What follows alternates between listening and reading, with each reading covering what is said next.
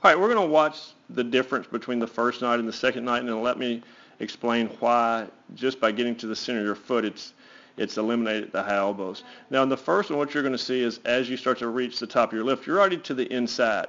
Now as you start to move forward, you're aggressively using the inside and the ball of your foot in an attempt to open and rotate the hips, and that's not the most efficient way uh, to do so. We're, we're wanting to use the, the hamstring and the glute to rotate your hips because that's the most effective way to do so. Simply by driving from the ball of your foot is extending your hip, and that's not really a, a efficient rotation, and that's what leads to the high elbows.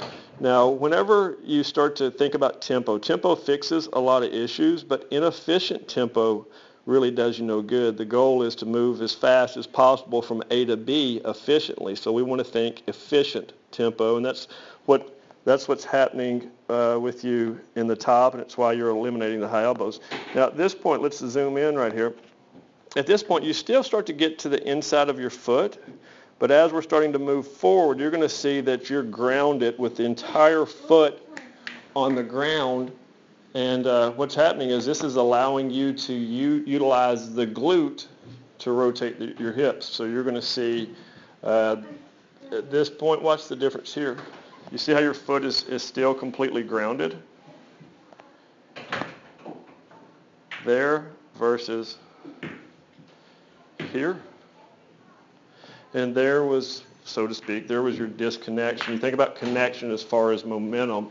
We're trying to transfer momentum from segment to segment with each building upon the previous, and you're able to do this efficiently, and that's why you're eliminating the high elbows. So on the, the top, you can see the high elbows is gone. So really the goal for you, as you know, was to uh, focus on staying in the center of your foot. This is something that I would do religiously. I'd highly recommend a lot of the slow motion wall drills, taking the shoe off the back foot and getting the feel over and over and over of staying in the center of your foot because what it does is it, it creates greater surface area. It allows you to utilize the ground to where it's projecting the center part of your body um, forward, but it's also allowing you to uh, to effectively rotate the hips with the glute by getting to the heel. It sends a body to the sends a message to the body that the back hip is locked and guys will become front hip dominant. And you're just you're the opposite. As a matter of fact, watch this back hip.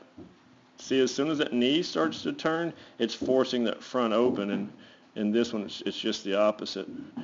You're actually pulling the back hip open. But man, overall, really, really, really good job. I mean, I was really impressed uh, with you overall. And one final point. Um, I noticed, and I'll send this, but I noticed with your arm stress, and I've seen this a lot, is guys that attempt to stop their arm, not allowing it to move past the center part of their body, tend to put more stress on the arm, and your stress rate was, was considerably high. So that's one thing I would I would try to get away from, and I know that that's a habit, but the end of the day, the hip is what's responsible for the arm decelerating, and the arm is at the mercy of the hips. So by uh, so by uh, what you're doing there, you're you're actually allowing the arm to slow down efficiently. So that's where I would continue to go. But overall, man, I was I was really really impressed.